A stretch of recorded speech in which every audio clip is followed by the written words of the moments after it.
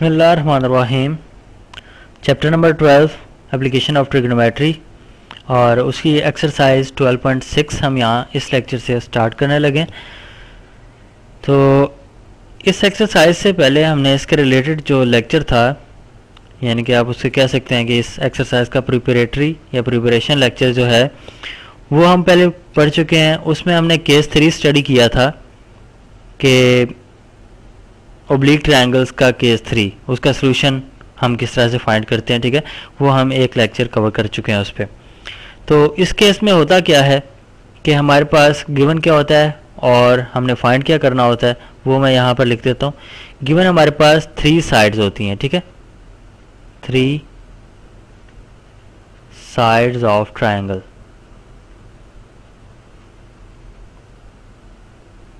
ठीक है, ये होती हैं हमारे पास गिवन जिस तरह से पहले हमारे जो है एंगल्स और साइड्स का कॉम्बिनेशन होता था ना पिछले दो केसेस में, यानी कि पहले केस में हमारे पास क्या होता था कि एक साइड होगी, दो एंगल्स हो गए, दूसरे केस में क्या हुआ कि दो साइड्स हो गए, एक एंगल हो गया, ठीक है? अब ये थर्ड केस आ गया, तीनों की तीनों साइड्स हो गई हैं, ठीक है? यानी कि तीनों की तीनों साइड्स हैं, कोई भी एंगल हमें गिवन नहीं है। तो हमने तीनों की तीनों एंगल्स हमने फाइंड करने तो वो किस तरह से फाइंड करेंगे? वो हम यहाँ इस लेक्चर में इससे पहले लेक्चर में हम देख चुके हैं, उससे रिलेटेड हम एक्सरसाइज यानी कि एक्सरसाइज 12.6 हम सॉल्व करेंगे, हमें क्वेश्चंस गिवन है इसमें एक्सरसाइज में। ठीक है तो क्वेश्चन नंबर वन से स्टार्ट करते हैं। तो क्वेश्चन नंबर वन क्या है? क्वेश्चन नंबर वन है ए साइड की वैल्यू हमें गिवन है is equal to seven b side की वैल्यू भी हमें गिवन है इज़ इक्वल टू सेवन और सी साइड की वैल्यू भी हमें गिवन है इज़ इक्वल टू नाइन ठीक है? अब हमने फाइंड इसमें क्या करना है? फाइंड हमने करना है अल्फ़ा बीटा और गैमा की वैल्यूज़ यानी कि तीनों एंगल्स की वैल्यूज़ फाइंड करनी है, ठीक है? अच्छा तो इसके अलावा हमें पता है एस जब ये हमें जो इंफॉर्मेशन गिवन होती है, हम किस तरह सॉल्व करते हैं? हम हाफ़ एंगल यूज़ करते हैं कोसाइन का, ठीक है? कोसाइन का हाफ़ एंगल यूज़ करते हैं और हम फाइंड कर लेते हैं तीनों के तीनों एंगल्स और भी मेथड्स हैं, लेकिन हम यहाँ पर ये अप्लाई करेंगे, ठीक है? तो हमें पता है cos of alpha by two किसके इक्वल होता है? S into s minus a divided by b c और होल स्क्वेयर रूट इसका। ठीक है? तो यहाँ पर ये तो हमें फार्मूला पता है लॉ पता है। लेकिन अब यहाँ पर एस क्या है, ये भी हम पहले डिस्कस कर चुके हैं। ठीक है? बी ए बी सी तो इसकी साइड्स है ना? तो एस क्या है? वो sum of sides divided by two है के इक्वल होता है, ठीक है? तो वो हम फाइंड कर लेते हैं। S is equal to a plus b a plus b plus c divided by two तो यहाँ पर हमें तीनों साइड्स गिवन हैं। ए क्या है? सेवन बी क्या है? सेवन और सी क्या है? नाइन डिवाइडेड बाय टू ठीक है? तो यहाँ पर ये तीनों साइड्स हमारे पास आ गई। डिवाइड टू कर दिया तो ये एस की वैल्यू बन गई। अब इसको हम सॉल्व कर लेते हैं। तो seven plus seven plus nine divided by two जो है वो इक्वल आ जाएगा 11.5 के, ठीक है? यानी कि हमारे पास एस की वैल्यू क्या आ गई? 11.5 के इक्वल अच्छा अब हम ये value cos of alpha by two यानी कि कोसाइन ऑफ़ हाफ़ एंगल में यूज़ कर सकते हैं, ठीक है? तो ये बन जाएगा cos of alpha by two is equal to s की जगह क्या आ जाएगा? पहले मैं लिख ही देता हूँ। S into s minus a divided by b c होता है और उसका होल स्क्वायर रूट अब एस की जगह 11.5 आ जाएगा। 11.5 point five into eleven point five minus a a जो है ए साइड है, ठीक है? तो ए की वैल्यू हमें गिवन है, वो है seven divided by B C B और सी दोनों साइड्स हैं सेवन इंटू नाइन उनकी वैल्यूज़ हमें गिवन है, ठीक है? तो ये मैंने यहाँ पर पुट कर दी। तो होल स्क्वायर रूट भी है इसके ऊपर। अब इसको हमने सिंप्लीफाई करना है तो हमारे पास आ जाएगा cos of alpha by two की वैल्यू आ जाएगी, ठीक है? तो इसको सिंप्लीफाई करने से हमारे पास क्या आएगा? 0.906 आप ये कैलकुलेट करेंगे तो आपके पास 0.906 वैल्यू आ जाएगी cos of alpha by two की। लेकिन यहाँ पर हमने एंगल फाइंड करना है, यानी कि अल्फ़ा की वैल्यू फाइंड करनी है। तो अल्फ़ा की वैल्यू फाइंड करने के लिए अल्फ़ा बाई टू यहाँ पर एंड देते हैं लेफ़्ट साइड पे, और राइट साइड पे कॉज को लेते हैं तो वो कॉज इनवर्स बन जाएगा। तो बनेगा cos inverse of zero point nine zero six ठीक है? तो इसका हम कॉज इनवर्स लेंगे तो अल्फ़ा बाई टू की वैल्यू हमारे पास आएगी 25 डिग्रीज ठीक है? तो हमने अल्फ़ा फाइंड करना है तो अल्फ़ा इज़ इक्वल टू आ जाएगा 50 डिग्रीज के। ठीक है? क्योंकि टू इधर आके मल्टीप्लाई होगा तो 25 five into two is fifty degrees तो ये हमारे पास अल्फ़ा आ चुका है। इसी तरह से बीटा भी हम फाइंड कर सकते हैं, क्योंकि हमें लॉ उसका भी पता है cos of beta by two ठीक है? Cos of beta by two ये हम यूज़ कर सकते हैं। Is equal to S into S minus B divided by A C ये फार्मूलाज हम पहले पढ़ चुके हैं, वो हम अप्लाई कर रहे हैं, उसको यूज़ कर रहे हैं अब यहाँ पे, ठीक है? तो एस की वैल्यू भी हम फाइंड कर चुके हैं पहले, जो कि है 11.5 पॉइंट फाइव इंटू फिर एस की जगह 11.5 पॉइंट फाइव माइनस सेवन और divided by seven into nine का सुके रूट ठीक है? तो ये बिल्कुल वही सेम चीज़ हो गई। तो यहाँ पर हमारे पास बीटा की वैल्यू भी इज़ इक्वल टू आ जाएगी 50 क्योंकि आप देखें, इसमें जो cos of alpha by two है, वो भी बिल्कुल सेम है, ऐसे into eleven point five formula तो डिफरेंट है, लेकिन अब यहाँ पर वैल्यू वैल्यूज़ जो हैं वो सेम आ गई है ना, इस वजह से उसकी वैल्यूज़ इक्वल आ जाएँगी. तो ये 11.5 point five into eleven point five minus seven divide by seven into nine तो आप इसको भी देखें 11.5 point five into eleven point five minus seven divide by seven by nine का स्क्र रूट तो यहाँ से हमारे पास जो है अल्फ़ा की वैल्यू जो आई थी हमारे पास वो भी बीटा की वैल्यू भी वही आएगी ठीक है? Beta is equal to fifty degrees तो अल्फ़ा भी हमने फाइंड कर लिया बीटा भी हमने फाइंड कर लिया। और आप चाहें तो आप cos of gamma by two use कर सकते हैं गैमा फाइंड करने के लिए। लेकिन जब आ, हमारे पास आ जाते हैं दो एंगल्स तो आसान ये होता है और प्रेफर ये किया जाता है कि आप sum of angles is equal to 180 degrees वाली इक्वेशन यूज़ करें, ठीक है? तो वही हम यहाँ पर यूज़ कर लेते हैं। Alpha plus beta plus gamma is equal to 180 degrees तो gamma is equal to 180 degree minus beta minus alpha ठीक है? तो यहाँ से हम वैल्यूज़ पुट कर लेते हैं। बीटा बीटा की वैल्यू अभी हमने फाइंड की 50 डिग्री अल्फ़ा की वैल्यू भी हमने फाइंड की 50 डिग्री तो ये हमारे पास 80 डिग्री जो है, वो वैल्यू आ जाएगी गैमा की, ठीक है? तो यहाँ से आप देख भी लें, चलें हम तीनों एंगल्स की मैं वैल्यूज़ यहाँ पर लिखता हूँ। अल्फ़ा हमने फाइंड किया 50 डिग्रीज बीटा हमने फाइंड किया, वो भी 50 डिग्रीज गैमा हमने फाइंड किया, वो है 80 डिग्रीज। अब इनको आप सम करके देख लें। तो 50 plus fifty plus eighty 180 degrees बनता है, ठीक है?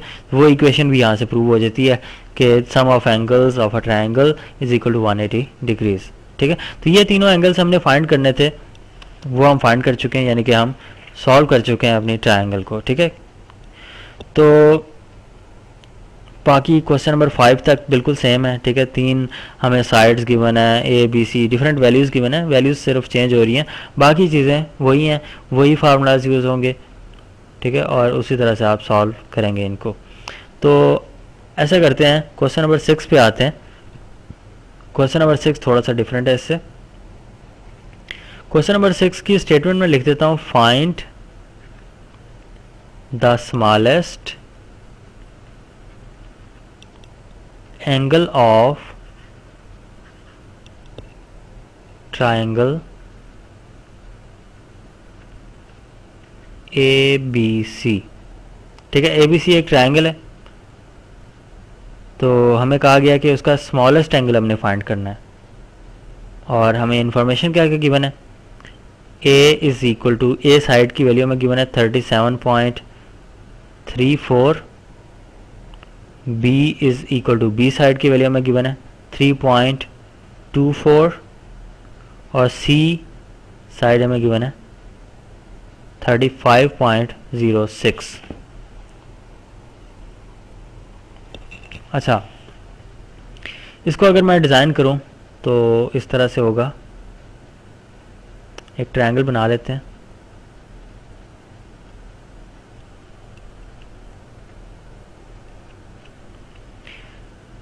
ये एक साइड होगी। एक ये साइड होगी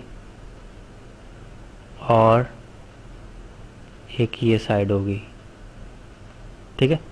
अब यहाँ पे मैं एंगल्स ड्रॉ करता हूँ। देखिएगा। एक ये एंगल है, एक ये एंगल है और एक ये एंगल है। इसमें से आपको सबसे छोटा कौन सा एंगल नज़र आ रहा है? क्या ये एंगल सबसे छोटा है? नहीं। ये देखें, इसके दरमियान में ये एंगल इस तरह से बन रहा है।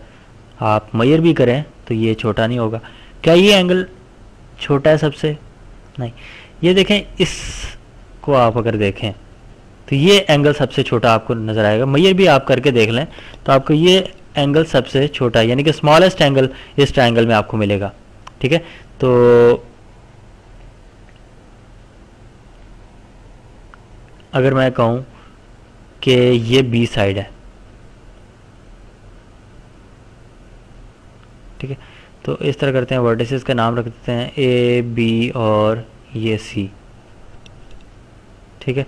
तो यहाँ से हमारे पास ए साइड के ऑपोजिट जो, यानी कि ए वर्डेक्स के ऑपोजिट ए साइड बनेगी बी वर्डेक्स के ऑपोजिट बी साइड बनेगी सी वर्डेक्स के ऑपोजिट सी साइड बनेगी। ठीक है? तो बी साइड के ऑपोजिट जो एंगल बनता है बीटा होता है ए साइड के ऑपोजिट अल्फ़ा होता है और सी साइड के ऑपोजिट गैमा होता है, ठीक है? अब यहाँ से देखिए तो एंगल की पहचान किस तरह हुई? कौन सा एंगल छोटा है? यहाँ पर बीटा एंगल छोटा है।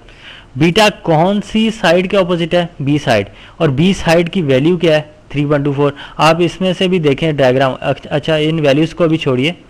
इसी डायग्राम को सिर्फ़ देखें। इस, इन तीनों साइड्स में से आपको छोटी साइड कौन सी नज़र आ रही है? ये साइड है बी साइड तो बी साइड के ऑपोजिट जो एंगल है, वो स्मॉलेस्ट एंगल आपको नज़र आ रहा है, ठीक है? यानी कि ये बात आप माइंड में रखिए कि स्मॉलेस्ट साइड के ऑपोजिट हमेशा स्मॉलेस्ट एंगल होता है और लार्जेस्ट साइड के ऑपोजिट हमेशा लार्जेस्ट एंगल होता है। यानी कि आप इसमें देखें, ये साइड आपको सबसे बड़ी साइड नज़र आ रही होगी इसमें, ठीक है? तो इसके ऑपोजिट आप एंगल ये देखें, ये एंगल बन रहा है, ये लार्जेस्ट एंगल होगा। ठीक है? तो यहाँ से आप देखें, हम यहाँ से कह सकते हैं कि the smallest angle the smallest angle of triangle A B ABC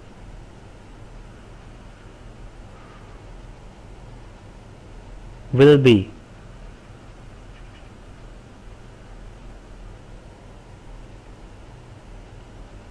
The angle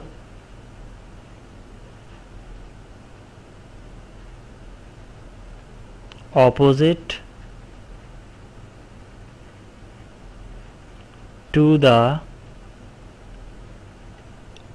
smallest side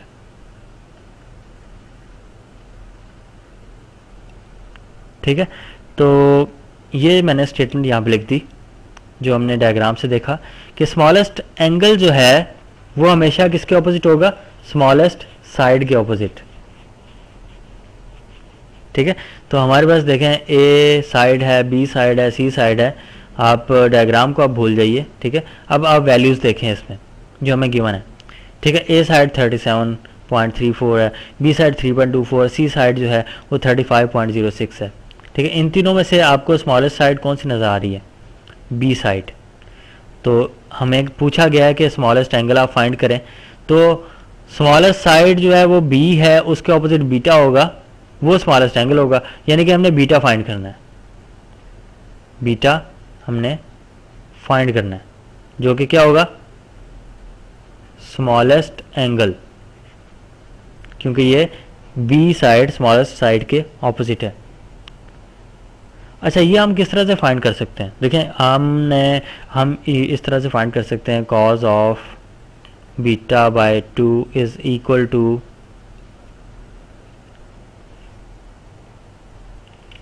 cos of beta by two का, यानी कि half angle cosine of half angle हम यूज़ कर सकते हैं। इज़ इक्वल टू किसके होता है?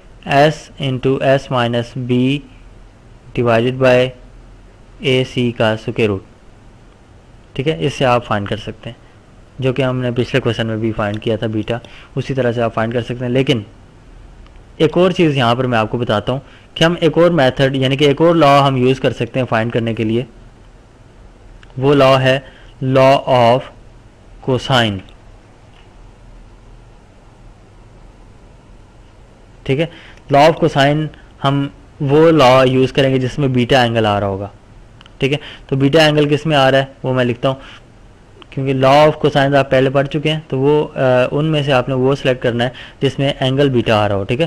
क्योंकि हमने यहाँ पर बीटा फाइंड करना है। तो B square is equal to A square plus C square minus two A C cos of beta ये देखें लॉ ऑफ़ कोसाइंस है ये। मैं साथ भी लिख भी देता हूँ। लॉ ऑफ़ कोसाइंस ठीक है? अब यहाँ से देखें, हम पहले फाइंड करते हैं एंगल्स इसी तरह से हाफ़ एंगल से, ठीक है? कोसाइन ऑफ़ हाफ़ एंगल से। अब आप लॉ ऑफ़ कोसाइंस भी यूज़ कर सकते हैं।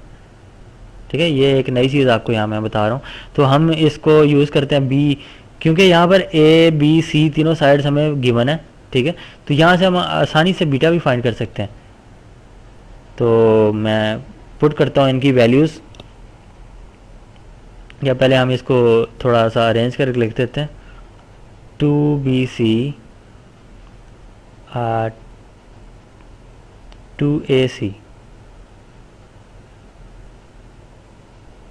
Is equal to, बल्कि टू ए सी के साथ कॉस बीटा भी है। Cos beta is equal to A square plus C square minus B square ठीक है? तो यहाँ से कॉस बीटा किसके इक्वल हो जाएगा? Cos beta is equal to A square plus C square minus B square divided by two A C ठीक है? तो अब यहाँ पर हम इनकी वैल्यूज़ पुट कर देते हैं। Cos of beta is equal to A side की वैल्यू हमें गिवन है thirty seven point three four thirty seven point three four का स्क्र प्लस सी स्क्र है। सी स्क्र हमें गिवन है thirty five point zero six का square और B side B side की वैल्यू हमें गिवन है थ्री पॉइंट टू फोर का स्क्र और whole divide by two into A यानी कि thirty seven point three four into B बल्कि टू ए सी है, ठीक है? तो सी हमारे पास जो है, वो है thirty five point zero six का सुकेर। बल्कि सुकेर यहाँ पर नहीं आएगा, ये सिंपली आपस में मल्टीप्लाई हो रहे हैं, ठीक है? तो इसको हम सॉल्व करेंगे, हमारे पास कॉस बीटा की वैल्यू आ जाएगी, ठीक है? कॉस बीटा हमारे पास आ जाएगा, cos beta is equal to zero point nine nine eight. और यहाँ से हम बीटा फाइंड करने के लिए कॉस को राइट साइड पे लेके जाएँगे तो ये तो ये कॉज इन्वर्स बन जाएगा। Cos inverse of zero point nine nine eight ठीक है? तो जो कि इक्वल आएगा three degree thirty seven minutes ये हमारे उस बीटा की वैल्यू आ जाएगी। तो यही हमने फाइंड करना था। स्मॉलेस्ट एंगल ये है smallest angle of the triangle smallest angle और ये स्मॉलेस्ट क्यों है? क्योंकि ये थर्ड साइड थर्ड साइड कह रहा हूँ। स्मॉलेस्ट साइड के ऑपोजिट है, ठीक है? आप अगर बाकी एंगल्स भी फाइंड कर लेना, यानी कि इसको कंप्लीट इसका सोल्यूशन फाइंड करें। ए बी सी आपको तीन साइड्स गिवन है एक ट्राइंगल की, आप इसमें से अल्फ़ा फाइंड करें बीटा फाइंड करें सी गैमा फाइंड करें। उसमें से आप देखिएगा कि बीटा एंगल स्मॉलेस्ट आएगा, और उसकी वैल्यू क्या होगी? Three degree and thirty seven minutes ठीक है? तो इसी तरह से नेक्स्ट क्वेश्चन है कि आपने फाइंड करना है क्वेश्चन नंबर सेवन जो है, उसमें आपने फाइंड करना है largest angle greatest angle of the triangle वो किस तरह से? आपको तीन साइड्स गिवन है, एक सिक्सटीन है साइड की मेज़रमेंट एक साइड की मेज़रमेंट ट्वेंटी है और एक साइड की मेज़रमेंट थर्टी थर्टी थ्री है. तो आप कह लेंगे ए जो है वो सिक्सटीन है बी जो है बी साइड स्मॉल बी हम इसे कहेंगे. B is equal to twenty है और C is equal to thirty three है। तो यहाँ से गैमा इज़ इक्वल टू जो होगा, वो आप फाइंड कर लें क्योंकि वो लार्जेस्ट एंगल होगा। क्यों लार्जेस्ट होगा? क्योंकि सी साइड इसमें से सबसे बड़ी साइड है और लार्जेस्ट एंगल हमेशा सबसे बड़ी साइड के ऑपोजिट होता है, ठीक है? तो ये क्वेश्चन नंबर सेवन भी हो गया। बाकी आगे क्वेश्चन नंबर एट नाइन और टेन बहुत ही आसान है, ठीक है? उनको यहाँ पर डिस्क्राइब करने की ज़रूरत नहीं है, या सॉल्व करने की ज़रूरत नहीं है, वो आप खुद से सॉल्व कर सकते हैं, ठीक है? तो यहाँ पर इस लेक्चर को ख़त्म करते हैं। तो क्वेश्चन एक्सरसाइज 12.6 भी यहाँ पर ख़त्म होती है और यहाँ पर इस लेक्चर को भी हम ख़त्म करते हैं।